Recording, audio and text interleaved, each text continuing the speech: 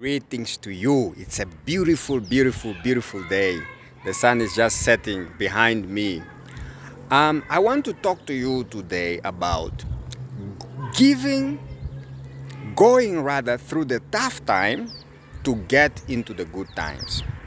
Sometimes you have to pass through tough times so that you can get the good times ahead.